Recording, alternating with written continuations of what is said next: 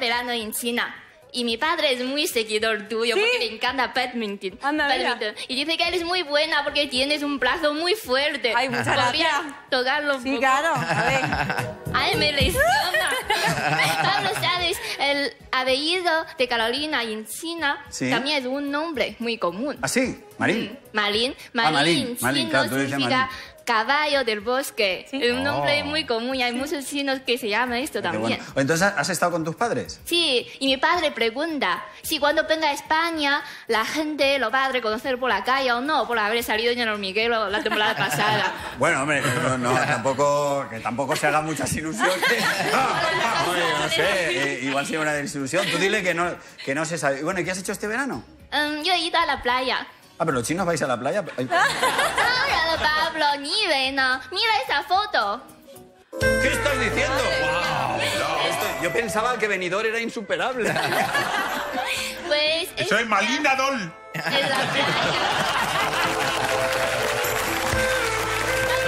Está en la playa de Shenzhen, de la provincia de Cantón de China. Pero te voy a contar una anécdota. Pero espérate un segundo, porque Sí. no hay nadie tumbado. Ah, No, claro, Pablo, ¿cómo va a a alguien tumbado? Lo pero mata. ese señor se pone así, que no sabéis hacer vosotros. Ya, ya lo sé, pero eso es, Es una verdad. cosa que sabéis hacer los chinos y nosotros no, pero... Están las medusas sabemos hacer- diciendo, que, "Hay plaga de eh, humanos". Es verdad que nos Es lo verdad, contó. que- yo tampoco puedo. Tú no No, puedes. yo tampoco puedo. No voy a hacer demostración porque. Yo bueno, tampoco, yo es que al, al rato te cansas y ellos se quedan ahí leyendo libros Es así. verdad. Bueno, Pablo, te voy a contar una anécdota. Ah, muy bien. Mm, la playa de mi pueblo también estaba llena. La playa de tu pueblo.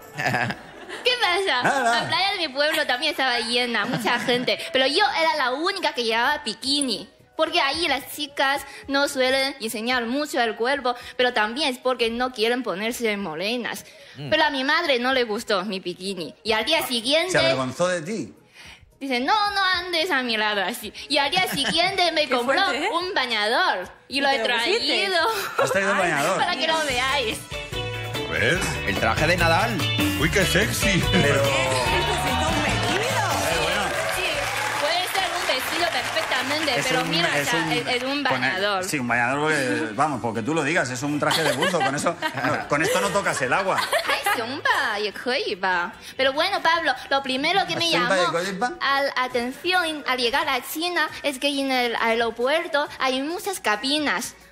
Donde eh, esperas la maleta hay cabinas. Sí, ¿para qué? Entonces, cuando recoges la maleta, te puedes cambiar. Así, cuando sales al ver tu familia y amigos, ya estás muy limpias, con ropa limpia, Ah, después de claro, 12 horas. ¿Cuántas horas? Ay, estas son las cabinas. Sí, en el aeropuerto de Pekín.